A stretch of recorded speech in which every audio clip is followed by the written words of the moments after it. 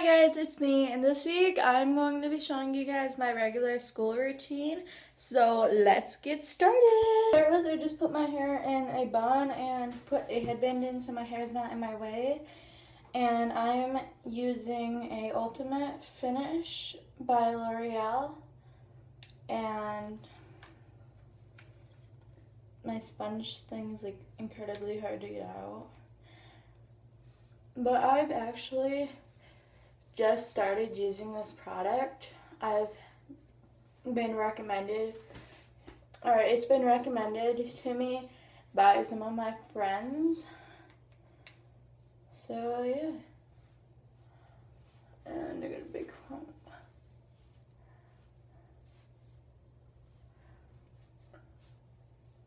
So I pretty much start by putting it on my face.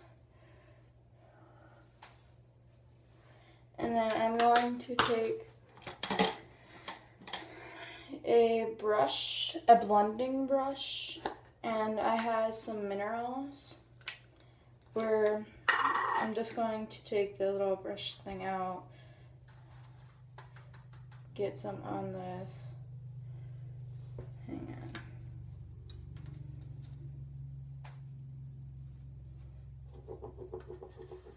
on. Okay. So you're gonna kind of just take it, blend it in a little, make it look a little more natural. So you know, this pale, kind of spread it around a little, you know, that kind of stuff. Use your hands if you have to.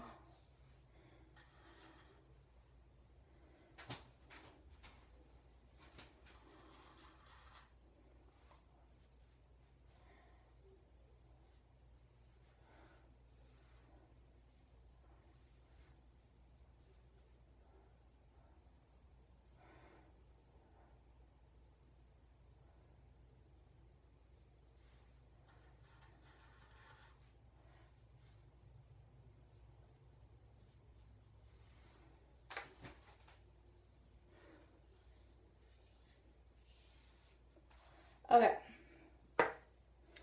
So I'm just going to use a little more mineral here. Just kind of like as a coat, blend it in a little so you don't look as pale. At any rate, after that, where did my blush? Oh. after that, I'm going to be using a fashion blush by Colorworks. And this is a collection of two, and I will be using this pale one since it's for school. This really light one right here. And then take my brush.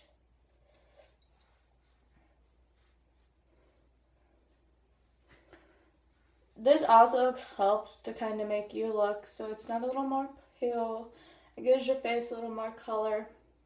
And I really like the shade for during the summer because you don't really get all those rosy red cheeks anymore, and that's what boys kind of like in my school. So, yeah, and then once you're done spreading it around, kind of just rub your hand over it, spread it out a little. That's what I do, and it normally it'll stick for me, which helps me. But once you're done with that, I normally use a Wet n Wild Comfort Zone eyeshadow brow bone collection thing. But I normally use the light side. It's kind of like, um, it's like a gold kind of the side right here. So there's like one for your brow, So I kind of just spread it all around. One for your eyelid, which is like my favorite color. Because I really like, like a gold, kind of shiny. And then there's a really dark kind of brown that you mix in. And I used a little too much. Okay, I'm just to use my finger and spread it around.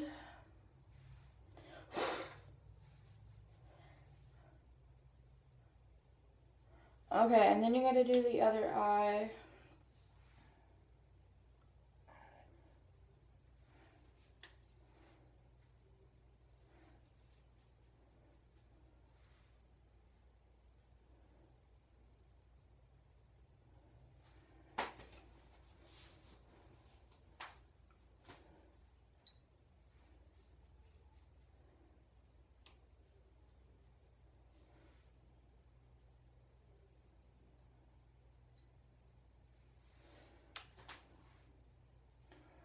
And then knowing me, I get it on the side of my eye. If you can't notice, it's right there. Because that always happens to me. I just take my minerals again and use the brush mine comes with. And then I just go over that. It covers it. And then while I have my minerals out, I kind of just go under my eye. Get all the spots that got screwed up. Those dark circle things. And then I take my eyeliner pencil. I'm just to put it on my eye. Normally people will put it like on their waterline or under their eye.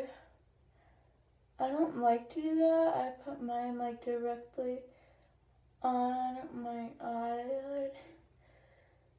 Like with the eyeliner, it doesn't normally spread. So it helps for me. But whatever way that works for you. Okay. Once you have that done, I normally use two different eyeliner or uh, mascaras. I use a volume impact and a waterproof. So first I'm going to use the volume impact. This kind of gives you a little more volume.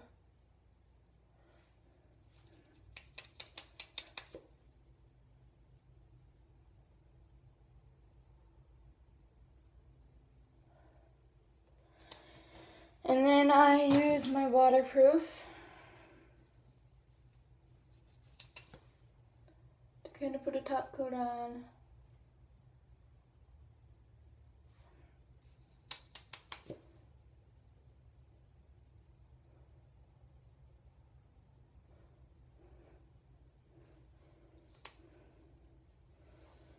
And then normally I would have a lip product, like a clear lip gloss that I use. Oh, wait. Never mind, I found it. I just use the Blistex Lip Vibrance. And it's kind of like a lipstick, except it works better. It'll stay on longer and it moisturizes your lips. So it's like one of my favorites. Because really it's not even a lipstick, it's a chapstick. But yeah. So smear that around kind of. Fix any mistakes you might have. Any errors, maybe? yeah, cut this part out. For watching my video this week, comment down below some videos for next week. Don't forget to subscribe, like this video, and subscribe for more. Thanks for watching. Bye! Stay tuned to watch the book. Thanks for watching my video this week. For a shout out...